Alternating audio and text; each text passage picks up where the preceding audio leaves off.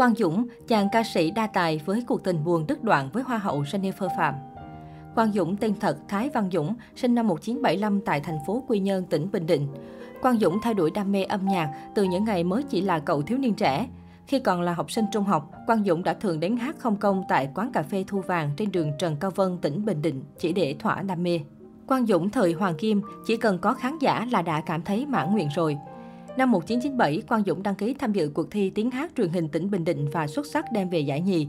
Năm 1998, Quang Dũng được Sở Văn hóa tỉnh Bình Định cử đi tham gia cuộc thi giọng hát hay các tỉnh miền Trung Tây Nguyên tại Thừa Thiên Huế và anh đã thành công đem về một huy chương vàng.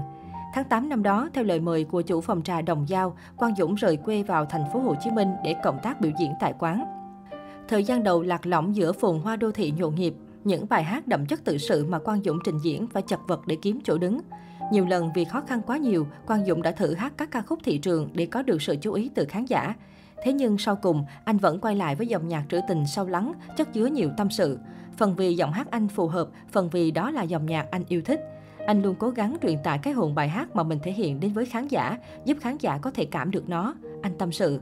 Mặc dù không có nhiều fan, nhưng với tôi, chỉ cần có khán giả là đã cảm thấy mãn nguyện rồi.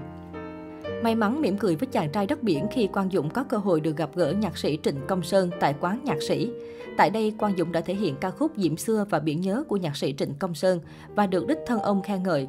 Từng có thời gian học tại Đại học Sư phạm Quy Nhơn, gắn bó cùng mảnh đất Bình Định nhiều năm trời, nhạc sĩ Trịnh Công Sơn cảm thấy có cảm tình với Quang Dũng, còn trực tiếp chọn bài hát phù hợp với chất giọng trầm đặc trưng của anh và hướng dẫn anh cách thể hiện tác phẩm trọn vẹn nhất. Sẵn bài hát Biển nghìn thu ở lại vừa sáng tác, nhạc sĩ Trịnh Công Sơn ký tặng luôn cho Quang Dũng. Năm 2001, nhạc sĩ Trịnh Công Sơn qua đời trong sự tiếc thương vô vàng của người hâm mộ. Đấy cũng là thời điểm Quang Dũng đang chuẩn bị cho ra mắt album đầu tay. Trong CD này, anh đã lựa chọn ca khúc Biển nghìn thu ở lại làm ca khúc chủ đề để tri ân nhạc sĩ Trịnh Công Sơn. Album khởi đầu không quá lạc quan nhưng dần dần đã bán thành công 5.000 bản. Giọng ca Quang Dũng trở nên quen thuộc với những người hâm mộ của nhạc Trịnh, trở thành hiện tượng và nhận được nhiều sự chú ý từ công chúng. Tiếp nối thành công đó, ca khúc Vì đó là em của nữ nhạc sĩ Diệu Hương đã đưa tên tuổi Quang Dũng lên tầm cao mới trong sự nghiệp ca hát. Nhờ ngoại hình ưa nhìn, Quang Dũng thường nhận được lời mời đóng phim, nhưng vì bận rộn công việc, Quang Dũng đều từ chối. Tuy vậy, năm 2003, Quang Dũng quyết định chấp nhận lời mời đóng vai Hàng Mặc Tử trong bộ phim truyền hình 5 tập về cuộc đời của nhà thơ tài năng mà vắng số. Phần vì Hàng Mặc Tử là nhà thơ mà Quang Dũng yêu thích, phần vì hai người là đồng hương. Sau đó anh nhận lời xuất hiện trong phần 2 của phim điện ảnh nổi tiếng Gái Nhảy với vai diễn ca sĩ Khang Dũng. Chuyện tình cảm là một trang buồn. Năm 2007, Quang Dũng tham gia đóng phim Những chiếc lá thời gian. Bộ phim tạo nên duyên nợ giữa anh và Hoa hậu châu Á Jennifer Phạm. Hai người nhanh chóng lao vào tình yêu cuồng say và đi đến hôn nhân vào năm 2008. Tuy nhiên, điều gì chóng đến thì cũng vội đi. Không lâu sau khi có với nhau cậu con trai Bảo Nam, hai người ly hôn. Sau hôn nhân đổ vỡ, Quang Dũng tiếp tục theo đuổi con đường âm nhạc. Anh tham gia trình diễn hơn 10 năm liền trên sân khấu Paris by Night của Trung tâm Thúy Nga và nhận được tình cảm to lớn từ người hâm mộ. Năm 2016, Quang Dũng tham gia chương trình Thần tượng Bolero với vai trò giám khảo, dẫn dắt các thí sinh vượt qua các vòng thi đấu để tìm ra quán quân chương trình. Sự nghiệp ca hát của anh khiến nhiều người choáng ngợp và ngưỡng mộ khi cách xê một lần biểu diễn lên đến hàng trăm triệu đồng.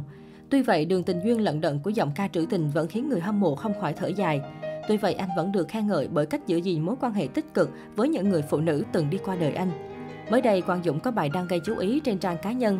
Chia sẻ loạt hình mới, nam ca sĩ than thở về vấn đề cân nặng, tiết lộ tăng 4 kg và phải sắm sửa lại quần áo từ đầu. Chưa bao giờ thấy giảm cân khó khăn như thế này, từ 66 kg lên 70 kg, sắm lại quần áo từ đầu. Sâu tại Sandrot tuần rồi, nam ca sĩ bày tỏ. Bài đăng của Quang Dũng khiến nhiều người thích thú, không ngớt trêu đùa vì ngoại hình tròn trịa của giọng ca 7X. Trước đó không lâu, trong lần hội ngộ với nữ ca sĩ Hồng Ngọc và bạn bè, Quang Dũng cũng khiến dân mạng bất ngờ với vẻ ngoài lộ rõ dấu hiệu tăng cân, mập hơn hẳn so với thời gian trước. Hiện tại, sau hơn 20 năm ca hát, giờ đây Quang Dũng sở hữu một khối tài sản kết xù. Được biết, anh hiện đang sở hữu hai căn nhà, một ở bên Mỹ và một ở Việt Nam. Được biết, căn nhà sang trọng trong nước của Quang Dũng nằm trên đường Huỳnh Văn Bánh ở quận Phú Nhuận, thành phố Hồ Chí Minh. Ngoài ra, giọng ca biển nhớ còn có sở thích với các dòng xế hộp cao cấp. Hiện tại anh đang sử dụng chiếc BMW X3 có giá hơn 2 tỷ đồng. Trước đó, nam ca sĩ cũng từng đi chiếc Mercedes GLK có giá gần 2 tỷ đồng, nhưng đó chỉ là bề nổi.